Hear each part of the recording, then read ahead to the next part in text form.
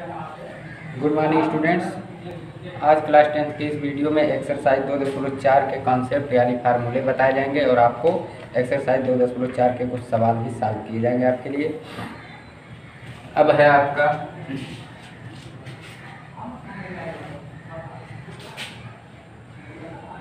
एक त्रिघात।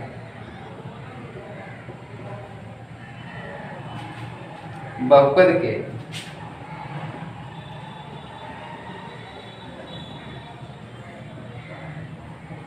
शून्यकों और गुणांकों में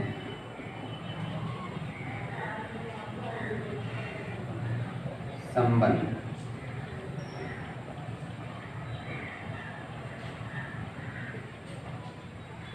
जैसा कि आपको कंफर्म होना चाहिए कि त्रिघात बहुपद मतलब जो बहुपद रहेगा उसकी अधिकतम घात तीन की होगी। अभी तक आपने द्विघात बहुपद पढ़ा, अब है त्रिघात बहुपद। माना कोई त्रिघात बहुपद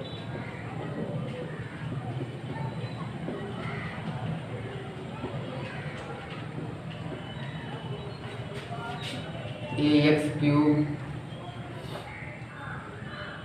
plus b x square plus c x plus d ध्यान दीजिए।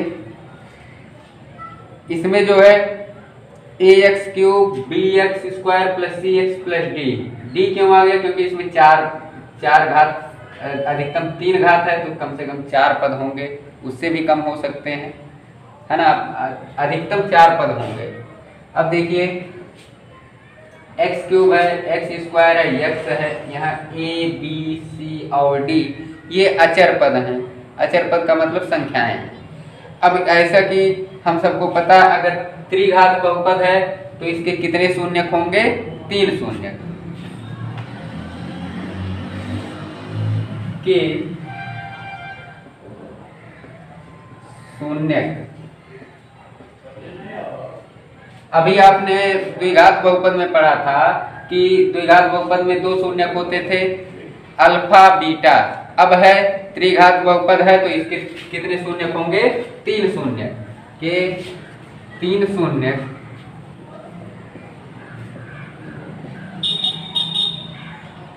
अल्फ़ा, बीटा और एक और मान लिया है हमने, गामा।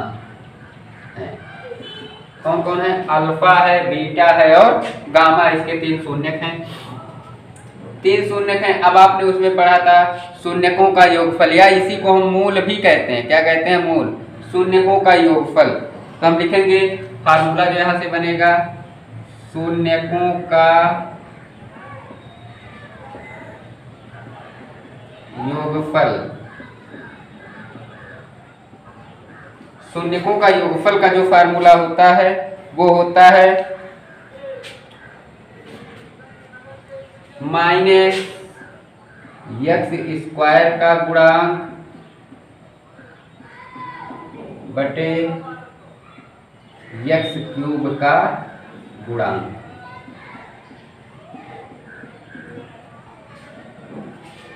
अगर द्विघात बहुपद होता था तो शून्यकों का योगफल क्या होता था?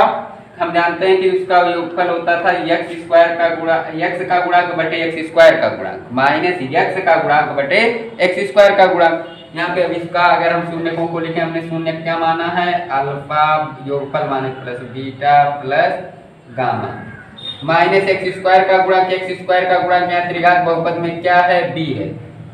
और एक्स क्यूब का गुणांक क्या है? ए है। फार्मूले में क्या लगाना है? माइनस लगाना है। ये आपका हो गया alpha plus beta plus gamma शून्यकों का योगफल उसके बाद है, अब यहाँ पे होता था शून्यकों का योगफल शून्यकों का गुणनफल ही केवल उसमें होता था। इसमें क्या होगा? जैसे हम ये भी कह सकते हैं, alpha beta plus alpha beta को ले लो, बीटा गामा को ले लो, गामा अल्फ़ा को ले लो, दो दो को लेकर अगर हम योगफल ज्ञात करें, तब क्या लिखेंगे? दो शून्यकों को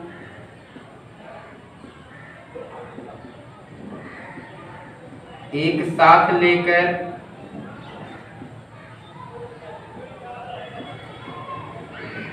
योगफल।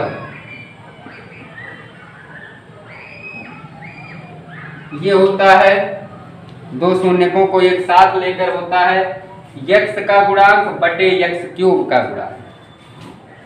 इसमें माइनस नहीं होता है, यक्स का गुणांक बटे यक्स क्यूब का गुणांक अब दो शून्य कौन कौन है? एक साथ लेकर जैसे ये बनाया गया वैसे इसको भी लिख सकते हैं। Alpha, beta, plus, beta, gamma, plus, gamma, alpha, बराबर। देखिए, दो शून्य alpha, beta beta, gamma gamma, alpha, दो शून्य को एक साथ लेकर ऊपर ये फार्मूला बनता है। यक्स का गुणांक क्या होता है? सी। बटे एक्स क्यूब का गुणांक है इससे ये फार्मूला बना। ठीक? अब है, यहाँ ध्यान दे लीजिए एक बार, कोई त्रिघात बहुपद है। इसके शून्यकों और गुणांकों में संबंध, इसकी सत्यता की जाँच भी जब सवाल आएगा तो उसमें किया जाएगा। माना कोई त्रिघात बहुपद इस रूप में a x cube plus d x square plus c x plus d के शून्य। ये त्रिघात बहुपद इसके शून्य हैं तो कितने शून्य होंगे? तीन शून्य होंगे। तीन शून्य हमने माना एक अल्फ़ा एक बीटा और एक गामा है। तो शून्यकों का योगफल होता है फार्मूला माइनस एक्स स्क्वायर का गुणांक बटे एक्स क्यूब का गुणांक। तो शून्यकों का योगफल माने alpha plus beta plus gamma. तो एक्स स्क्वायर का गुणांक हम जान रहे हैं, बी होता है और बटे एक्स क्यूब का गुणांक है ए। अब दो शून्यकों को एक साथ लेकर योगफल एक्स का गुणांक बटे एक्स क्यूब का गुणांक। तो दो शून्य अल्फ़ा बीटा को एक साथ लिया, बीटा गामा को एक साथ लिया, गामा अल्फ़ा को एक साथ लिया। अब हम देख रहे हैं कि तीनों का जो संबंध है, अल्फ़ा बीटा भी एक साथ हो गए, बीटा गामा भी एक साथ हो गए, गामा अल्फ़ा भी एक साथ हो गए, यानी तीनों एक दूसरे के साथ हो गए। इनका योगफल होता है एक्स का गुणाक एक्स है एक्स का गुणाक सी है बटे एक्स क्यूब का गुणाक ए अभी और बाकी है, जो गुणनफल होता है।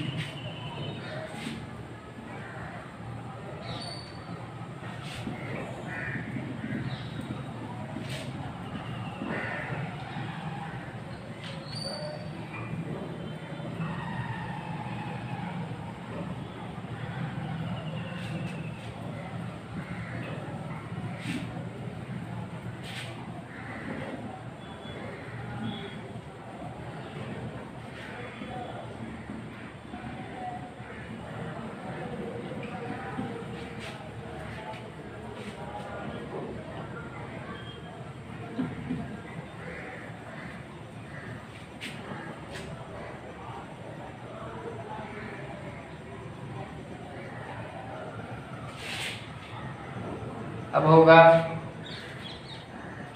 शून्यकों का गुणनफल।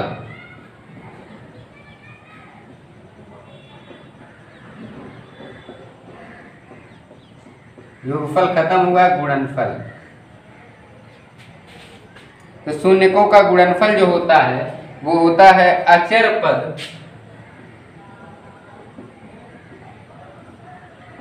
बटे यक्स क्यूब का गुणांक।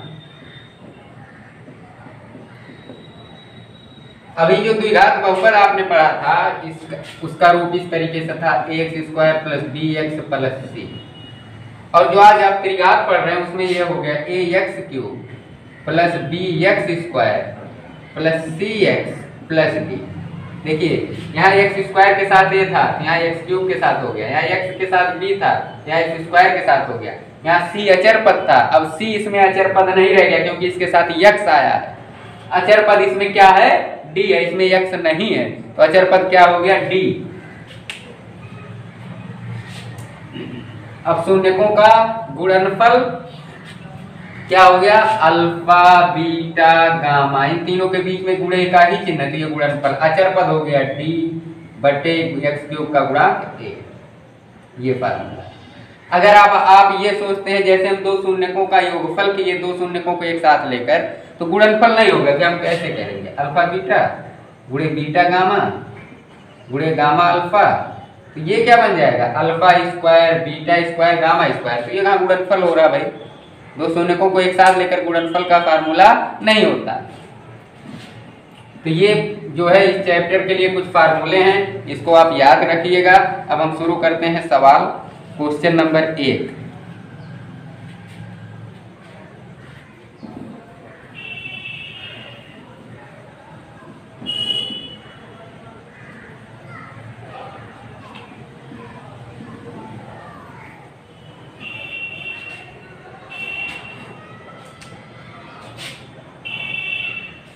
कह रहा है, यदि त्रिघात बहुपद के शून्य माइनस तीन कामा ज़ीरो कामा पाँच, हमने पहले भी बताया आपको कि त्रिघात बहुपद है तो उसके तीन शून्य होंगे। दो घात बहुपद है तो दो शून्य, एक घात बहुपद है तो एक शून्य, चार घात बहुपद है तो चार शून्य। तो कह रहा है यदि एक त्रिघात बहुपद के शून्य तो लिखेंगे त्रिघात बहुपद के शून्य बराबर दिया है, माइनस तीन है, कामा ज़ीरो है, कामा पाँच है, तीन शून्य के है। तो कह रहा है तो उस बहुपद को ज्ञात कीजिए, यानी त्रिघात बहुपद कौन है? जैसे a x cube plus b x square plus c x plus d इस रूप में कितना होगा ये? तो देखिए, सबसे पहले हम जानते हैं क्योंकि alpha plus beta plus gamma एक चीज़ आप ध्यान दीजिए, आपको द्विघात बहुपद में, द्विघात बहुपद बनाने का फार्मूला बताया गया था x square minus alpha plus beta into x plus alpha into beta लेकिन यहाँ पे फार्मूला फ़िलहाल है तो लेकिन हम पहले दूसरे तरीके से बता रहे हैं, फिर अगले वीडियो में फार्मूला भी हम आपको बताएँगे कि फार्मूले से ये कैसे बन सकता है। तो होता alpha plus beta plus gamma बराबर होता है माइनस बी बटे ए माइनस बी बटे ए। अब यहाँ पे आपको ये सोचना है कि बी कौन है, ए कौन है ए सी कौन है? ठीक है? ए, बी और सी कौन है? ये आपको जानना होगा। मान लिया आप सॉरी अल्फ़ा कौन है, बीटा कौन है, गामा कौन है? गलती हमने कह दिया। तीन शून्य का तो एक अल्फ़ा होगा, एक बीटा, एक गामा। अब इसमें हमने मान लिया माइनस तीन को अल्फ़ा, प्लस ज़ीरो को हमने मान लिया beta beta plus gamma. Gamma मान लिया हमने, गामा को मान लिया पाँच है। ये हो गया माइनस बी बटे पाँच में से तीन घट गया तो हो गया दो। माइनस बी बटे ध्यान दीजिए यहाँ। अब ये क्या हो गया? अगर हम इसका तिरक गुड़ा कर दें तो ये हो जाएगा माइनस बी बराबर टू ए। ऐसे हो सकता है? या इसको हम इस रूप में लिख सकते हैं। ए बराबर माइनस बी बटे दो। भाई इधर गया, बी बटे दो हो गया। यानी माइनस बी हम ऊपर लिखें या इसको हम क्या कर सकते हैं? बी बटे माइनस दो लिख सकते हैं। ए के बटे हम कितना लिख सकते हैं? ए। लिख सकते हैं। यहाँ से ए के नीचे एक, बी के नीचे माइनस दो आया। फिर हम जानते हैं दो शून्यकों को एक साथ लेकर इसका formula? Alpha, beta beta, gamma gamma, alpha. ये क्या होता है? सी बटे ए। यही होता है? सी बटे ए। अब अल्फ़ा का मान माइनस तीन गुड़े बीटा बीटा हमने लिया ज़ीरो प्लस बीटा का मान ज़ीरो गुड़े गामा का मान पाँच। प्लस गामा का मान पाँच गुड़े अल्फ़ा का मान माइनस तीन। बराबर सी बटे ए। यही होगा। मान यहाँ से रखा जा रहा अल्फ़ा बीटा गामा का। ये माइनस तीन में ज़ीरो गुड़ा ज़ीरो, पाँच में ज़ीरो गुड़ा ज़ीरो, पाँच ये हो गया माइनस पंद्रह। प्लस माइनस का गुड़ा माइनस पंद्रह। सी बटे ए। ये हुआ अब सी बटे ए यहाँ ध्यान दीजिए। अब यहाँ आया माइनस पंद्रह बराबर सी बटे ए यहाँ से क्या होगा? ए बटे एक बराबर सी बटे माइनस पंद्रह। होगा जैसे यहाँ। फिर ये गुणा करेंगे माइनस पंद्रह। देखिए कैसे हो सकता है। यहाँ लिखेंगे माइनस पंद्रह ए बराबर सी तो ए बराबर सी बटे, इधर गुड़े में इधर आएगा बटे। यहाँ बटे एक लिख सकते हैं। एक मान इससे भी है। ठीक, अब क्या होगा? अब एक फार्मूला और बचा। अल्फ़ा, बीटा, गामा, तीनों का गुणनफल होता क्या है? डी बटे ए। हमको ए, बी और सी का मान यहाँ से चाहिए। ठीक है ना? ए, बी, सी और डी का। ए का मान एक बी का मान माइनस तो यहाँ भी ए का मान एक सी का मान माइनस अब डी निकालना है। ध्यान दीजिए, ए का मान हर जगह वही आएगा, समान आएगा, हर एक का। क्योंकि ए हर एक फार्मूले में है। Alpha plus beta plus gamma तब भी ए है। अल्फ़ा बीटा गामा इसमें भी ए है। और alpha into beta into gamma इसमें भी ए का मान हर जगह ए वही आएगा जो पहले से आएगा ठीक? अब यहाँ से हम निकालते हैं अल्फ़ा बीटा गामा यानी इन तीनों का गुणा। माइनस तीन गुड़े बीटा का मान ज़ीरो गुड़े गामा का मान पाँच। बी बटे ए ठीक है? यानी ये हो गया ज़ीरो बराबर डी बटे ए ठीक है? यहाँ से हम क्या लिख सकते हैं?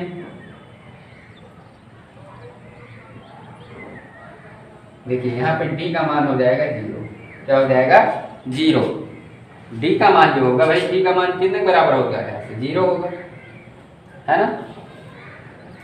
अब होगा हमारा, अब यहाँ से हम बनाएँगे फार्मूला। अब हम जानते हैं द्विघात त्रिघात बहुपद किस रूप में होता है? ए बी सी डी सबका मान हमको पता हो गया। अब यहाँ देखिए, आप सोचेंगे कि ए के नीचे हम तिरक गुड़ा कर देते ए गुड़े ज़ीरो ए ज़ीरो हो गया। ऐसा नहीं करेंगे। हम देखिए, हम ज़ीरो को इधर पक्षांतर कर रहे हैं ए को इधर पक्षांतर कर रहे हैं। इस तरीके से, ठीक है? ए का मान एक है डी का मान ज़ीरो है। यहाँ देखिए डी का मान किसके बराबर आ रहा है? ज़ीरो के बराबर आ रहा है? इसे लिख सकते हैं डी बेटे ज़ीरो। लिखा जा सकता? है भाई गुड़ा करेंगे तभी डी ए का मान ज़ीरो से गुड़ा होगा ज़ीरो, हो जाएगा ये डी कोई अंतर नहीं ना है इसमें। अब हमने ये क्यों किया? देखिए ए का मान हर जगह ए के नीचे एक आ रहा है, यानी ए का मान एक है। अब हम निकालेंगे त्रिघात बहुपद। त्रिघात बहुपद का फार्मूला जो होता है, यहाँ पे ना हो, अलग से लिख लिया जाए।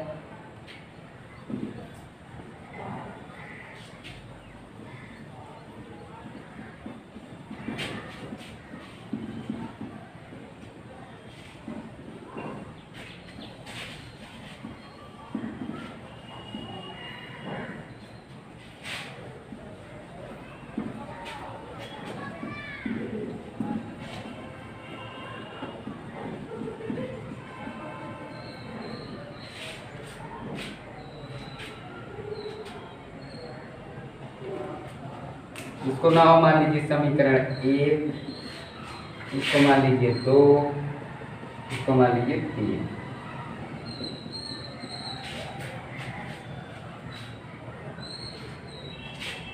समीकरण एक, दो तथा तीन से।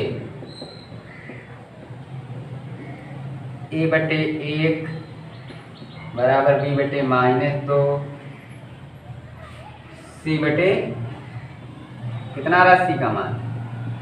माइनस पंद्रह और डी बटे ज़ीरो। अब त्रिघात बहुपद।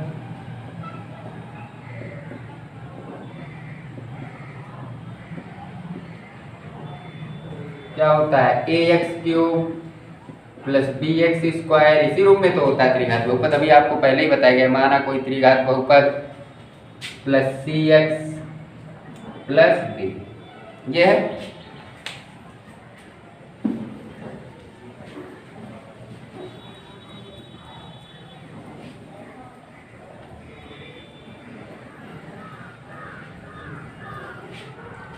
अब यहाँ से आप मान रख लीजिए ए का मान कितना है? एक, यानी एक आएगा तो एक यहाँ लिखा है चाहे नहीं, हो गया एक्स क्यूब प्लस बी का मान है माइनस दो, यहाँ हो जाएगा माइनस दो एक्स स्क्वायर प्लस सी का मान है माइनस पंद्रह इंटू एक्स प्लस डी का मान है ज़ीरो हमने क्या कहा था? इसमें अधिकतम चार पद हो सकते हैं, चार से अधिक नहीं हो एक्स क्यूब माइनस प्लस का गुणा माइनस दो एक्स स्क्वायर प्लस माइनस का गुणा माइनस पंद्रह एक्स प्लस डी का मान क्या है? ज़ीरो हम लिखें आगे चाहे ना लिखें। ये हमारा हो गया त्रिघात बहुपद। क्या हो गया? त्रिघात बहुपद। तो इस तरीके से हम त्रिघात बहुपद ज्ञात कर लेंगे। ऐसे ही सवाल दिया एक त्रिघात बहुपद ज्ञात कीजिए जिसके शून्यकों का योगफल तीन, दो शून्यकों को एक साथ लेकर उनके गुणनफलों का योग माइनस एक तीनों शून्यकों का गुणनफल माइनस तीन तो सब मान दिया है, हम वो मान रखेंगे। तो अब आप आगे कोशिश करिएगा, फ़िलहाल आज के वीडियो में बस यहीं तक, फिर आगे जो है कल बताए जाएँगे। चलिए ठीक है, थैंक यू।